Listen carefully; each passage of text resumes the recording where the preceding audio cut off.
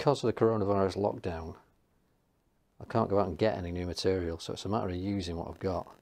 Now this is 2 by 2 box section, but it's only thin wall. This is 1.5 mil wall.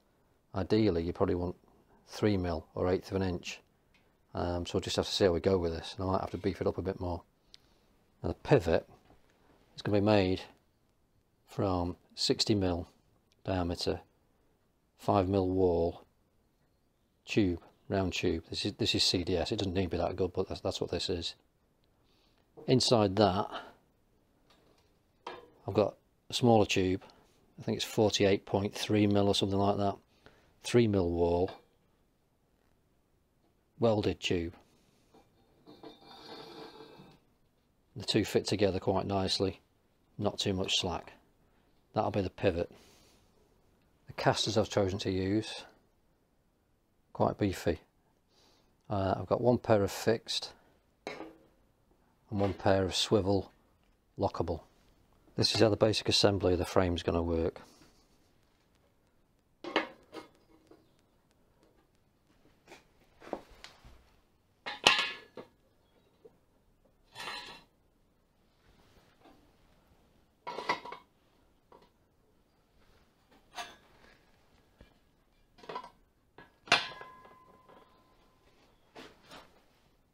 That's got one piece. And then legs will bolt on.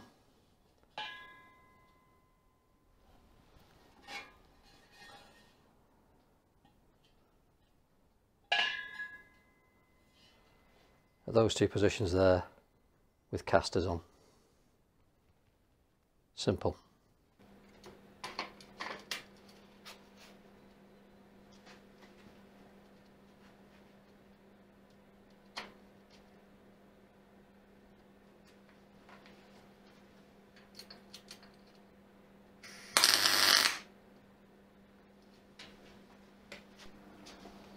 So I'm purely eyeballing this now. But this table's square. So I've set these tubes up with the edge of the table. That pivot tube is running along that edge of the table. I don't know if you can pick it up, but it actually looks like it's pointing in that way in its natural resting position. If I then put weight on this tube, just with my finger, should be able to see that's now parallel. So this angle I've got here with this sitting back is going to allow for the slack in that tube so that the engine sits square when the weight's on it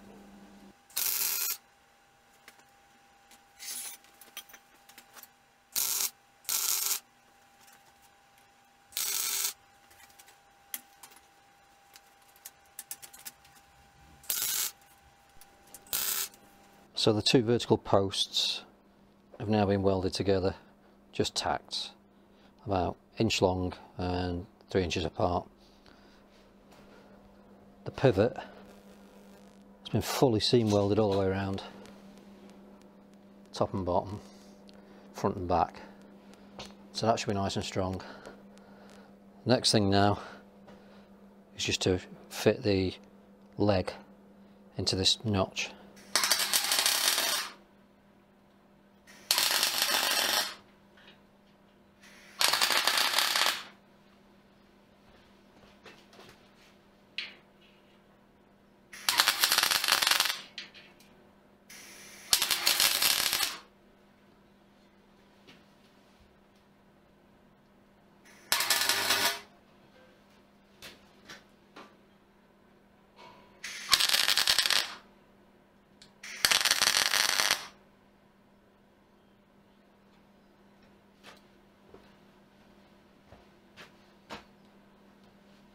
Now be okay to complete those welds.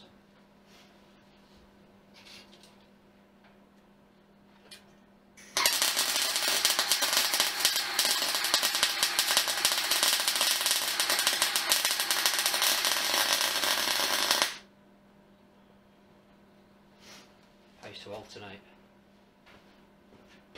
Do opposite sides, go back, opposite side, go back. Again it helps with distortion.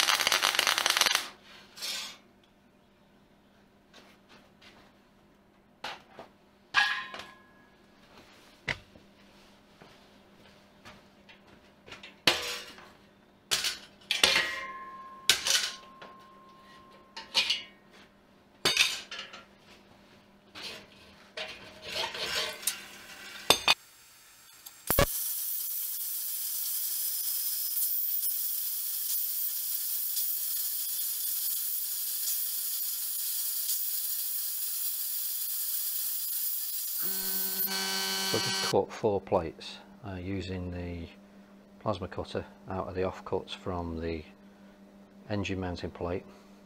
I'll just clamp those four together and what I'm going to do is just put a couple of tack welds on them to hold them as sort of one piece and I'll mark one end, one end out and drill all four at the same time to make sure all the holes are in line.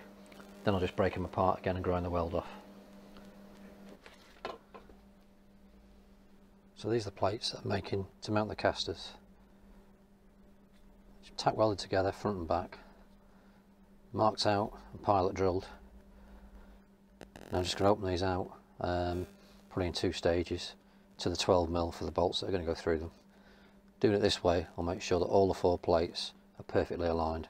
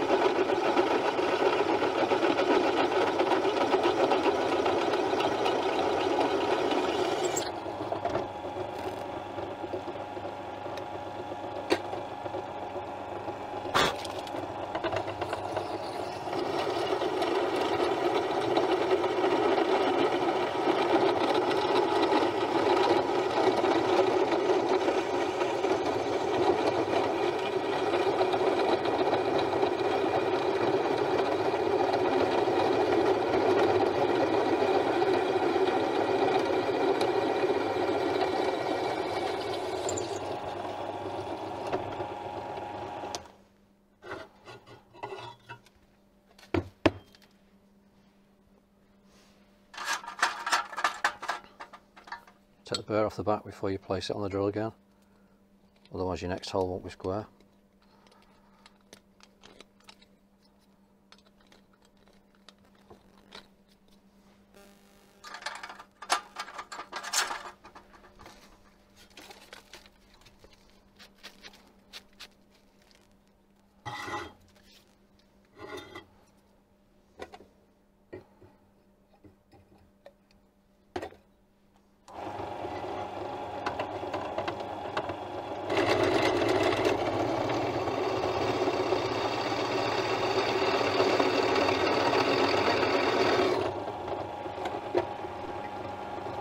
So that's the four plates drilled now. What I'm going to do, grind these little welds off, break the plates apart, and we should have four identical matching plates. Now the simplest way to mount these legs will just be to weld them straight onto there like that. Only trouble is, that makes it a bit bulky and difficult to store. So I want the legs to be removable. That's what those plates are for. So you can now see those bolted through the box section. And what I'm going to do, I've already got this side clamped up. These plates to be welded onto this piece. The legs will then unbolt. So I'm just going to tack those into place, remove the bolts and fully weld. See how it's going to work now. The legs just bolt in there. Like that. Just means it can be removed and stored so away. the casters fixed. I've got the fixed ones at the front, swivel ones at the rear. I'm not really sure which way they're supposed to go. So that's the stand. At least the bottom part finished with a coat of paint on. Steering casters at the back, fixed casters at the front. Drilled and tapped the top that's going to be to uh, just put a screw in there to control the rotation be able to lock the uh, engine off in any position Now to get on with making the yoke.